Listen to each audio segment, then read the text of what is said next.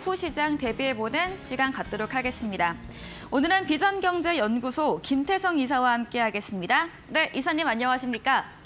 네, 안녕하세요. 네, 오늘 시장에 모처럼 힘을 내주고 있는데요. 오후 시장에도 이어질까요? 네, 일단 뭐 오전의 흐름은 굉장히 기대감을 갖기에 좋은 모습을 보였으나 지금 시간이 지나면 지날수록 힘이 조금은 어, 빠지고 있는 시장이기 때문에 지금 시간보다는 역시나 오후장, 오후 1시부터 2시 이후까지의 흐름이 그 무엇보다도 더 중요하지 않을까라는 생각이 드는데요.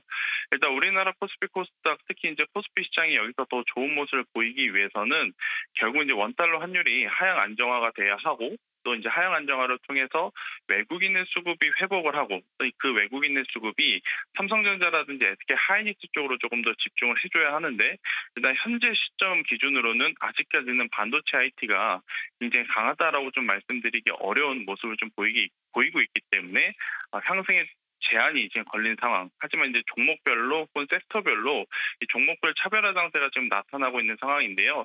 이번 주는 아무래도 기승전 FOMC로 기결될 가능성이 저는 높다라고 생각이 듭니다.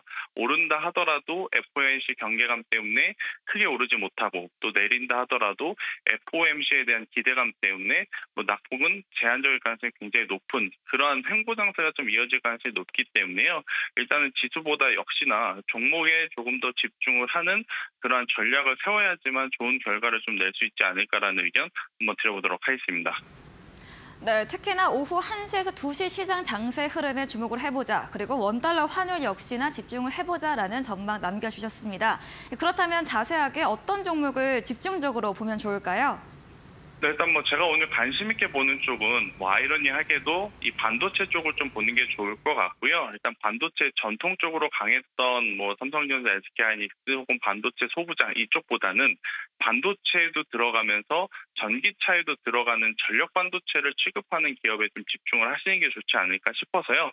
KEC라고 하는 기업을 좀 말씀드리고 싶은데 KEC 같은 경우에는 기존 이제 실리콘 재질, 그러니까 SI 재질에서 SIC로 넘어오면서 전력 효율도를 굉장히 지금 높인 상황이다라고 좀 보시면 될 것 같습니다.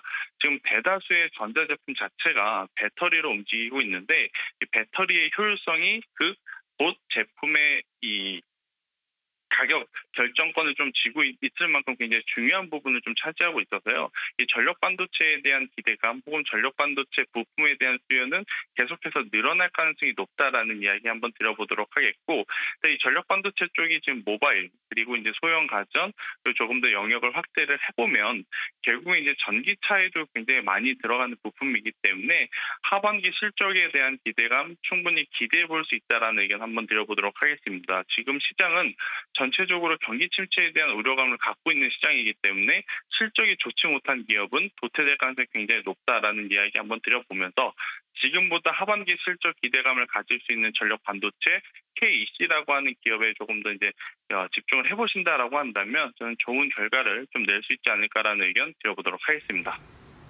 네, 반도체 중에서도 전기차에 많이 사용이 되는 전력 반도체 KEC 종목까지 들어보았습니다. 네, 지금까지 비전경제연구소 김태성 이사와 함께했습니다. 이사님 오늘 말씀 고맙습니다. 네.